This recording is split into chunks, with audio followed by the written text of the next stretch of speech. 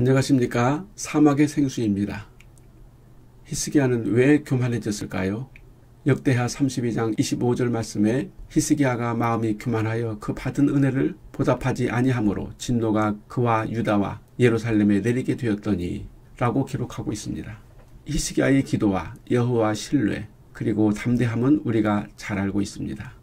히스기야는 두 번의 인생의 고비를 오직 이사야 선지자와 영적 합동을 통한 여호와의 도우심으로 극복하고 극적인 부흥을 이루게 되었습니다.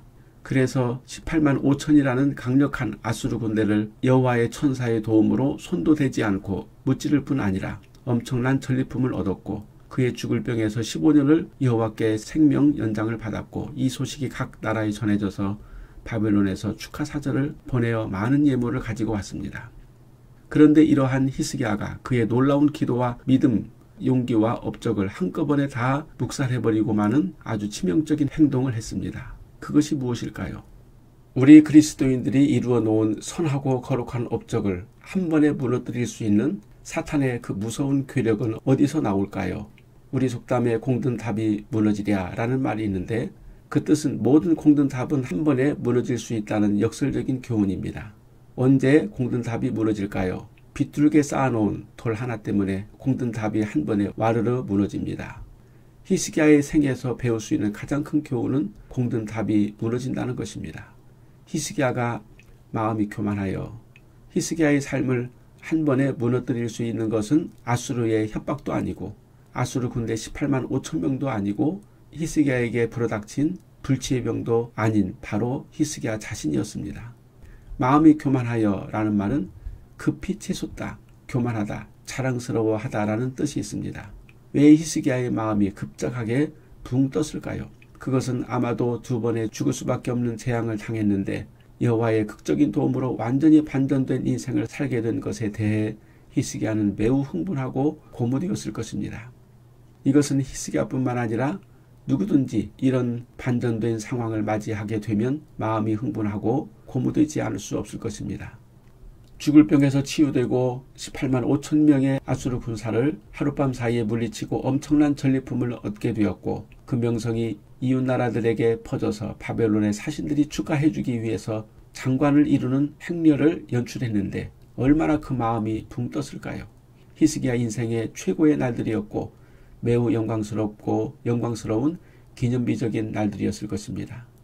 이런 상황이라면 누구든지 우쭐하지 않을 수 없습니다. 교회를 크게 짓고 헌당식을 할 때 많은 목사들과 지역의 국회의원, 시장과 기관장들, 많은 축하객들로 인해서 담임 목사의 상규된 얼굴과 그 표정을 보십시오. 한껏 모양을 낸 장로, 권사, 집사들의 상냥하고 환한 인사와 많은 화분과 아름다운 꽃으로 장식된 강단과 들뜬 분위기는 이 큰 역사를 이루어낸 담임 목사와 성도들을 한껏 붕뜨게 하지 않을 수가 없을 것입니다. 남유다의 왕 히스기야의 마음은 이보다 천배만 배로 자기 자신에 대해서 자부심으로 부풀었을 것입니다.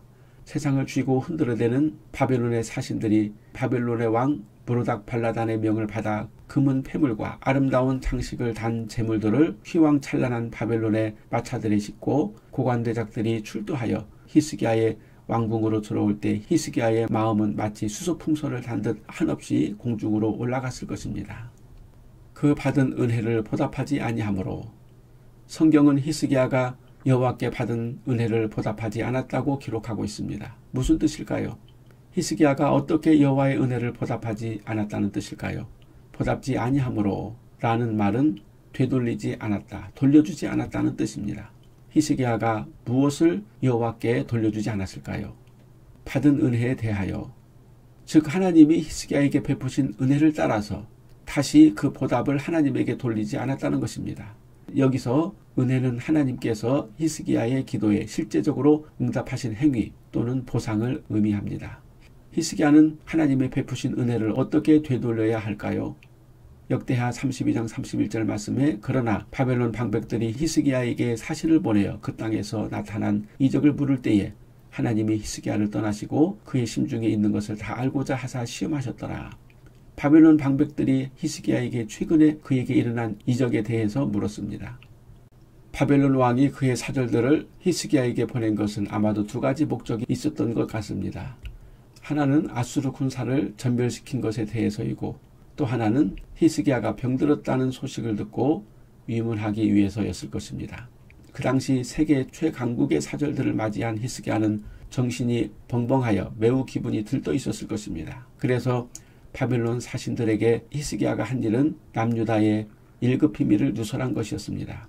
자기 보물고의 금은과 향품과 보배로운 기름과 그의 군기고와 창고의 모든 것을 다 사자들에게 보였는데 왕궁과 그의 나라 안에 있는 모든 것 중에서 히스기야가 그에게 보이지 아니한 것이 없더라. 히스기야는 자신의 보물 창고에 있는 금은 폐물들과 값비싼 향유들과 무기가 있는 무기고와 군사력을 다 바벨론 사신들에게 공개했습니다. 왜 그랬을까요? 히스기야의 이런 어리석은 행동은 우상을 숭배하는 나라들에게서도 찾아볼 수 없는 행동이었습니다. 약소국이 강대국에게 자기의 대탕고와 무기고를 다 보여준다는 것은 마치 고양이 앞에 생선을 맡기는 것과 같습니다. 그런데 히스기야가 바벨론에게 보여준 것은 단지 자신의 부와 영화를 보여준 것이 아니라 하나님의 거룩한 것을 자기 것인 양 떠버리면서 사탄에게 공개한 것이나 마찬가지입니다. 이생의 자랑이었습니다. 히스기야는 자신이 경험한 놀라운 일들을 이방 사람들에게 자랑하고 싶었습니다. 요한일서 2장 16절 말씀에 이는 세상에 있는 모든 것이 육신의 정욕과 안목의 정욕과 이생의 자랑이니 다 아버지께로부터 온 것이 아니요 세상으로부터 온 것이라. 사도 요한은 마귀에게 속한 세 가지를 말하고 있는데 그 중에 하나가 이생의 자랑입니다. 이생의 자랑이란 무엇일까요? 이생이라는 단어는 현재 상태, 즉 육신의 먹고 입고 쓰는 생계수단을 의미합니다. 눈에 보이는 것에 대한 자랑, 허풍, 자신감, 먹고 입고 쓰는 눈에 보이는 현세에 대해서 자만하고 긍지를 가지는 것은 허풍을 떠는 것과 같다고 말씀하고 있습니다. 즉 현재 자기가 가지고 누리고 있는 것에 대한 자랑은 물거품과 같고 안개와 같고 그리고 그것은 하나님에게 속하지 않는 마귀적인 죄악입니다.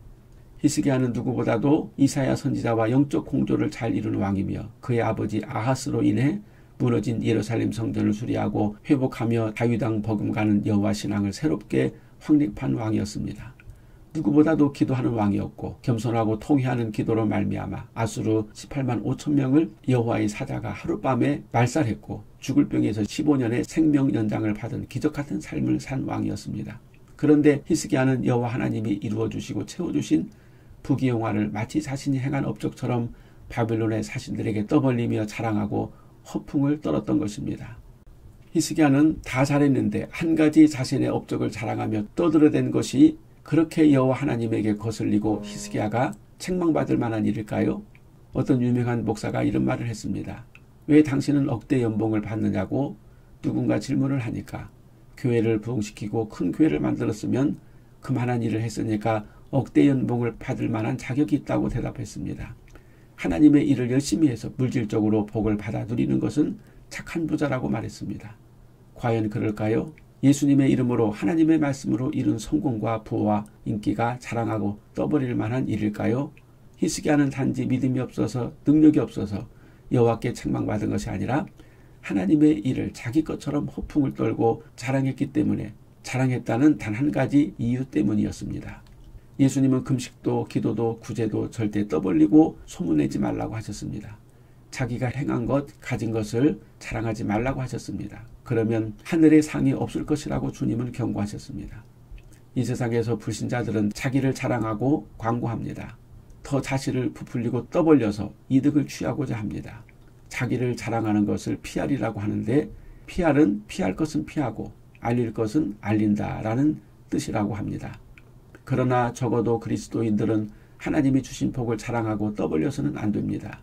그래서 우리 주님은 마태복음 6장 3절에 너는 구제할 때에 오른손이 하는 것을 왼손이 모르게 하여 라고 말씀하셨습니다.